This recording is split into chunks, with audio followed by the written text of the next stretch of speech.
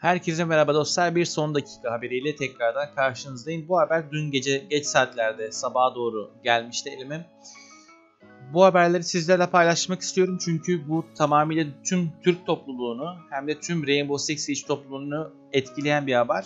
Benim e, bugün attığım videomda gördüğünüz gibi Clash glitch, IQ glitch, IQ glitch'in nasıl yapıldığını bilmiyorum ama Clash glitch ve IQ glitch e, son zamanlarda ve diğer tabii ki oyunun bug'larından yararlanan birçok oyuncu var. Tabii ki bunları yararlanmak veya denemek isteyen de birçok oyuncu var.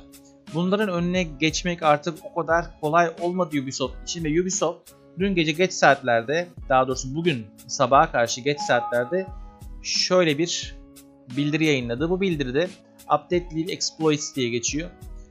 Ee, bu bildiride arkadaşlar Clash oyundan siliniyor bildiğiniz siliniyor. O Clash'ı arkadaşlar önümüzdeki günlerde kullanamayacaksınız. Bugün gece gelecek güncelleme Clash silinecek ve yarından sonra da Deployable Shield'lar, defanstaki shield'ları biliyorsunuz. Onlar ve Claymore'lar oyundan kaldırılacak. Şu şekilde de açıklamalar var. Clash Operator Selection screen'inden kaldırılıyor. Yani Clash artık custom game'de de dahil olmak üzere büyük ihtimal tahminimce veya işte Terrorist Hunt'ta hiçbir yerde Clash'ı kullanamayacaksınız diye düşünüyorum. Sadece casual ve ranked diye olmayabilir. Deployable shield'lar kaldırılıyor. Claymore'lar kaldırıyor. Bunları da yapmalarının sebebi şuradaki açıklamanın içinde yatıyor zaten. Özellikle geçtiğimiz birkaç günde e, bazı e, Clash, IQ ve Deployable Shield'larla ilgili görüyorsunuz. Bunlarla ilgili bazı problemleri düzeltmeye çalışıyoruz.